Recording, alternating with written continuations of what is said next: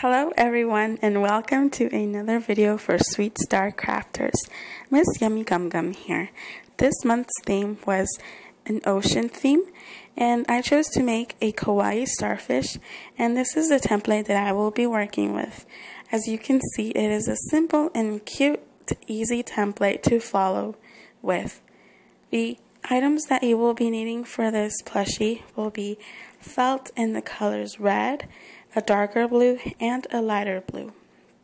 You will also need your threads in matching color, your needle, and a pen to trace out your template with, and of course your fabric scissors.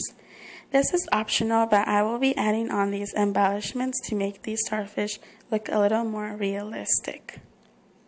Once you have cut out and drawn your template, you will need to cut out two body pieces for the starfish body, two circles for the eyes, and one red flower out of felt for the top of the head.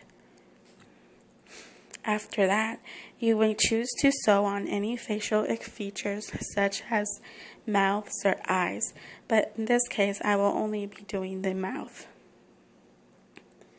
After you have attached and sewn on all the facial features, you need to thread your needle with blue thread and go ahead and set together and align your two starfish body pieces until they are correctly aligned and then you will need to start your blanket stitch all around and throughout your starfish body leaving a gap for stuffing.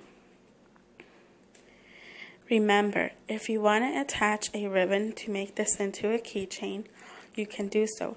If you don't, you can just use your same thread and add a couple of stitches and leaving a loop for the keychain.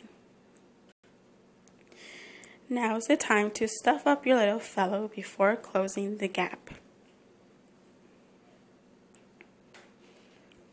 Now this is how your plushie should look. Really cute, right? And there's a loop at the top for, for the keychain. But this is optional like I said, but I will be adding on these embellishments to make it look even more cuter.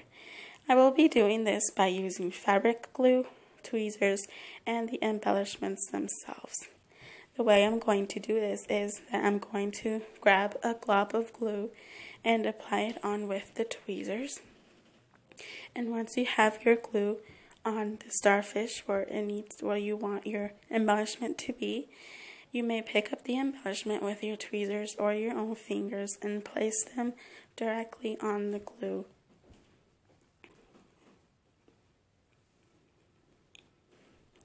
Remember to let your little friend dry thoroughly before touching it so this way you will avoid any falling embellishments.